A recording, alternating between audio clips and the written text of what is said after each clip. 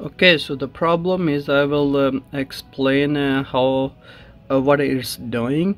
So for example if you open um, an outlook i'm using uh, uh, office 365 so it's um, outlook 365 the latest version and i have uh, installed all the patches uh, until yesterday.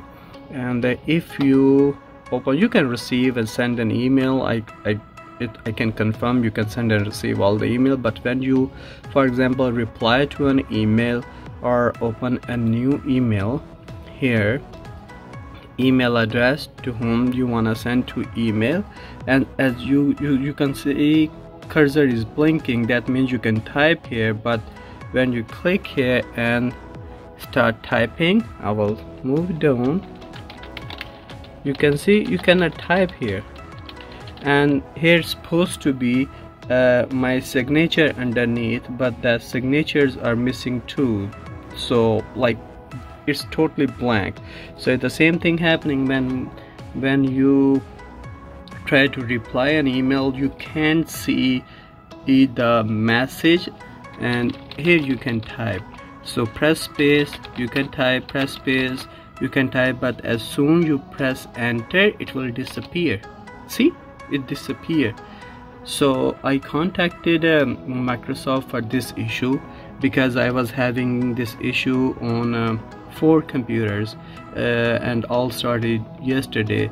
And contacted uh, Microsoft and uh, they they acknowledge that uh, there is uh, an issue with uh, with their outlook and the engineers are working on it.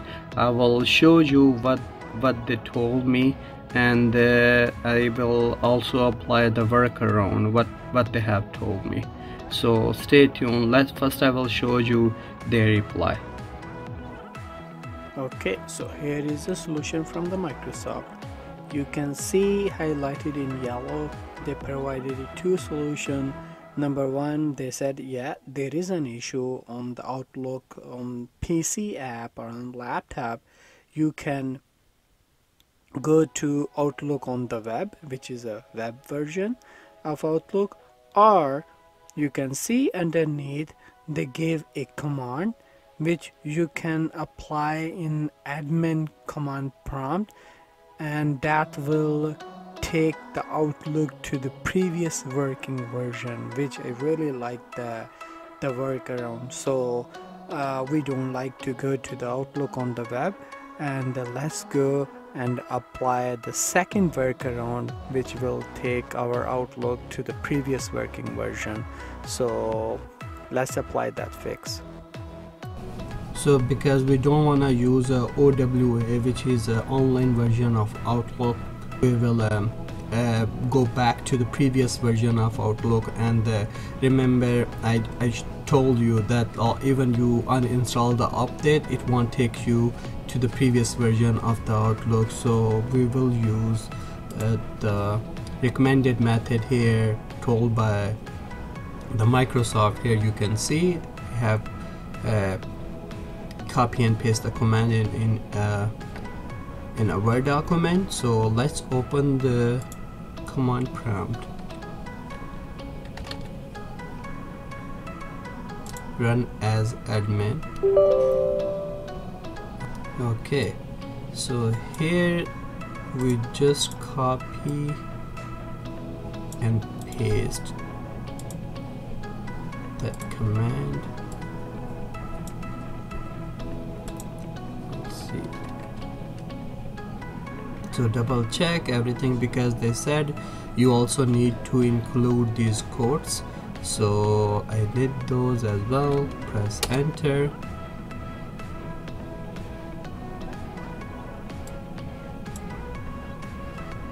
So looks like uh, it's saying checking for update download office updates. So maybe it's uh, going back to the previous version. We'll see what would be the end result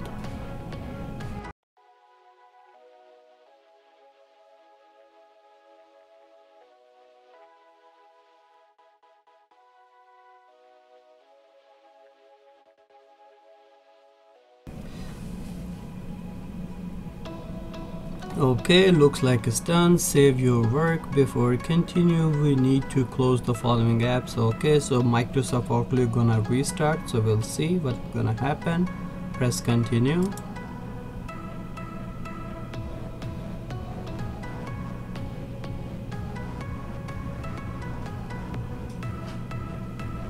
Applying update.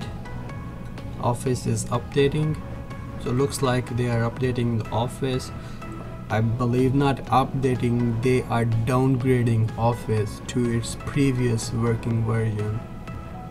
Your office update have been installed. You can use the office apps now okay